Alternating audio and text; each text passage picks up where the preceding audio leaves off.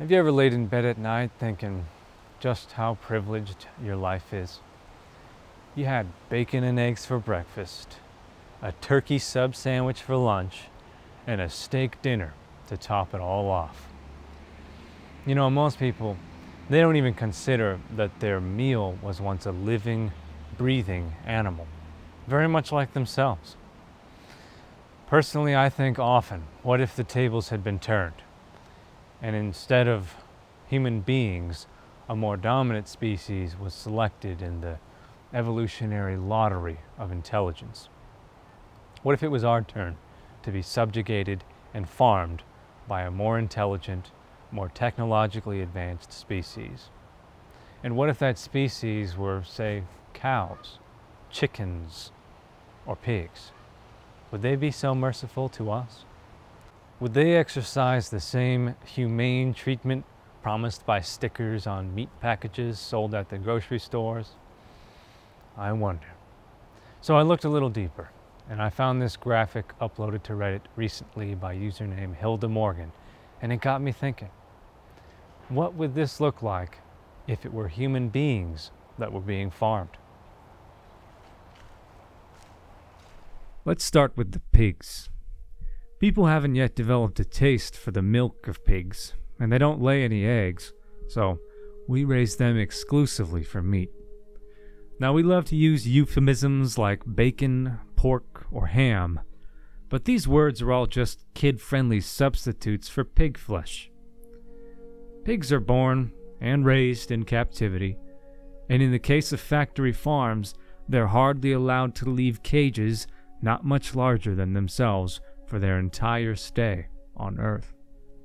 They're fed the meat of their own species, diseased animals, feathers, hair, skin, hooves, blood, manure, drugs, chemicals, and grains for about six months, and then they're slaughtered. They get to live an average of 4.2% of their total life expectancy before they're sliced into pieces and fed to the more evolved mammals known as people.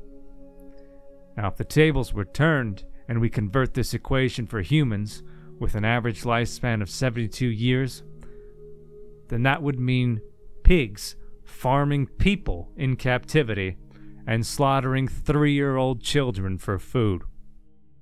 How about the male cows born on a dairy farm? A lot of you may not know this, but in order to harvest cow milk, which is all over our food system and consumed by most people in the world today, this first requires a female cow to give birth, just like with humans. The cow produces that milk for its calf, but we can't very well allow the calf to drink it if we want it for ourselves, so the cow's newborn baby is taken from her and slaughtered for meat no more than five months later. This is after the calf's movement is restricted in a small tent and it's fed calf starter, an artificial growth potion of our own making, instead of its mother's milk. This keeps the meat tender, and the cow babies are considered a commodity in most of human society. They're allowed to live approximately 1% of their expected time on Earth before they're slaughtered for food.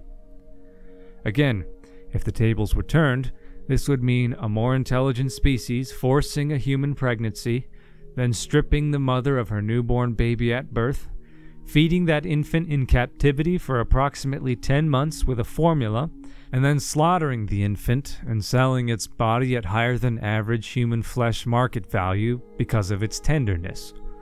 And here you were thinking that a vegetarian lifestyle was cruelty free. How about roosters born in a factory farm environment? You've probably seen footage of it before, but here it is again. These animals are born, and within the day, before they've even left their eggshells, they're identified as male and sent directly to a meat grinder for pet food and various other inexpensive animal products. If the tables had been turned, and chickens were factory farming us, this would be equivalent to selecting newborn infants in a hospital and sending our baby boys down a meat grinding assembly line to be blended into food for pets in a chicken household. What about the lucky ones that were born female?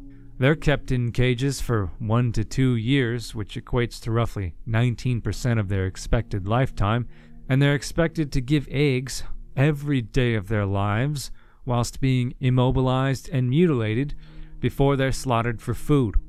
It almost seems like the life of a baby rooster is preferable. So, what if the tables were turned once again? Well, first, women would need to be selectively bred and engineered for many generations so that they could menstruate about once per day, and then, after 13 and a half years in captivity, they'd be slaughtered for meat. She wouldn't even graduate middle school. And how about the turkeys? These are the birds we've selected to celebrate our annual day of Thanksgiving. What better way to show your gratitude for everything you have than by eating a two year old child as the centerpiece of your feast? Turkeys, on average, get to live about 3% of their lives as they're forced to mature at a freakishly accelerated pace in captivity, less than half a year before the special day. In the United States alone, 45 million turkeys have their heads and feet chopped off and their feathers plucked out to feed the population for that gracious November holiday every year. At least we show some mercy. It's a beloved tradition that the leader of our country pardons one turkey per year as restitution. What about those happy cows that are depicted on the television that are treated humanely in order to provide that refreshing glass of cool milk? Surely they get to live out their adulthood at least. Well, they get to live about 20% of their lives in service to human beings, giving everything they have, from their children to the milk they produce for them, and even their very bodies, which are carved up and sold as steak once they've surpassed their productive prime. In human terms, this would mean slaughtering a girl that hasn't even completed her freshman year in high school because she'd be only 14 and a half years old.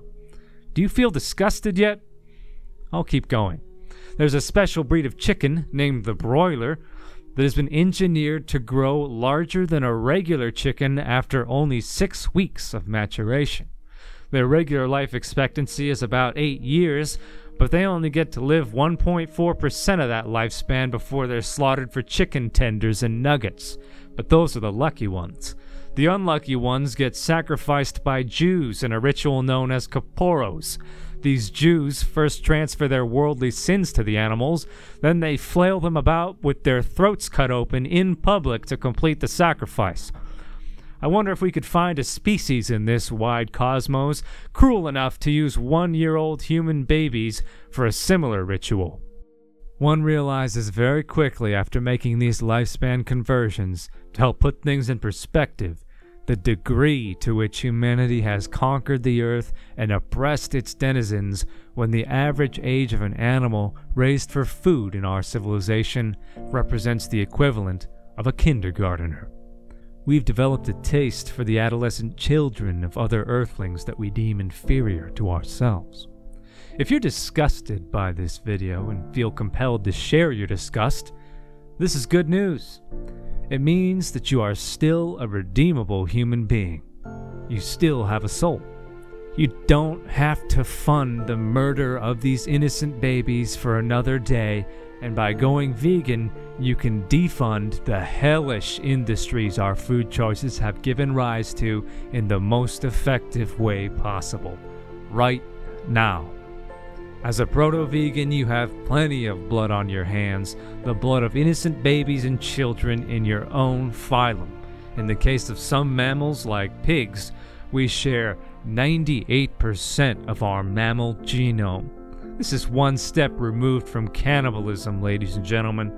Almost everyone was raised eating animal flesh, but now we know it isn't necessary.